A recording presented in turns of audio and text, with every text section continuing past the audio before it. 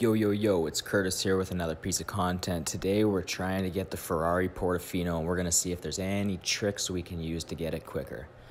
I'm also hoping to hear some feedback from you guys as well. If you dig this channel, like and subscribe. It'll help me a ton and I'm almost at a thousand subscribers.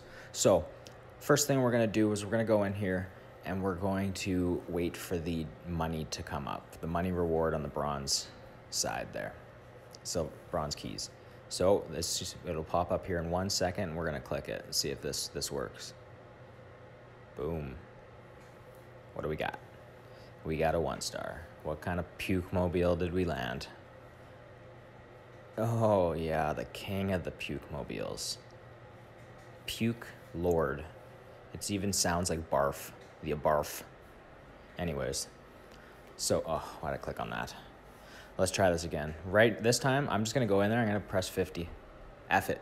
I'm just going for it. Boom. See what happens. See what happens. Maybe this is the one. Four star. Four star. What do we got? What do we got?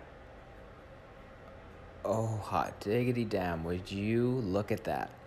Would would you just look at it? Would you look at it? Anyways, um, yeah, we did it.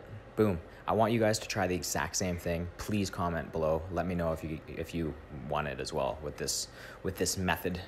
I'm happy it worked for me because if you've watched any of my videos in the last two seasons, I have had to get the car both times on the loyalty reward. That's a lot of keys, and um, that is uh, a lot of money out of my bank account, which I'm still very bitter about. So anyways, I'm going to do a couple little upgrades here, and then I'm going to take her for a burn. But anyways, like I said, please like, please subscribe, please comment. Let's uh, let's get this channel rocking. Let's get me to a thousand subscribers and let's help this guy out.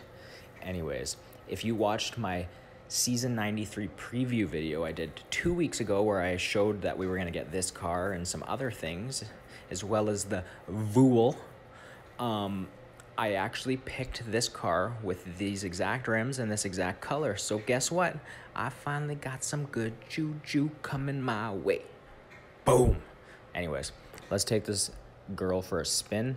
And that's that's it for today guys. Um, please like i said like and subscribe and um, keep on watching. I really appreciate the views.